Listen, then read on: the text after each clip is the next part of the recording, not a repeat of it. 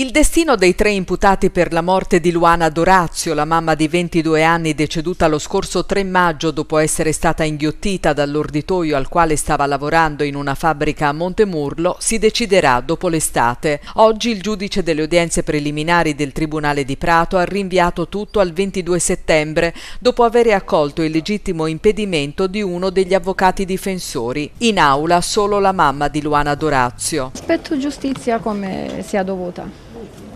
Confido nella magistratura. Assenti gli imputati, coniugi Luana Coppini e Daniele Faggi, titolari dell'orditura Luana, e Mario Cusimano, tecnico manutentore dell'orditoio. Stesse accuse per tutti, omicidio colposo e rimozione delle cautele antinfortunistiche, circostanza quest'ultima ipotizzata fin dal primissimo momento e poi confermata dalla perizia fatta fare dalla procura, convinta di una manomissione consapevole sull'orditoio. Un punto questo su cui gli avvocati della difesa sono pronti a dare battaglia con questioni tecniche, oltre che sottolineando che nessuno avrebbe assistito a quell'infortunio. Nonostante quella di oggi sia stata solo un'udienza di passaggio per fissarne un'altra, sono state diverse le richieste di costituzione di parte civile sulle quali il giudice deciderà alla prossima udienza, quella della mamma di Luana Dorazio e per conto del figlio della vittima, quelle del padre e del nonno materno nella sua qualità di tutore provvisorio. Solo un'istanza potrà essere accolta e per questo le parti dovranno produrre documenti a sostegno della legittimazione di ciascuno a chiedere di entrare nel procedimento a nome del bambino. Richieste di costituzione di parte civile anche da INAIL,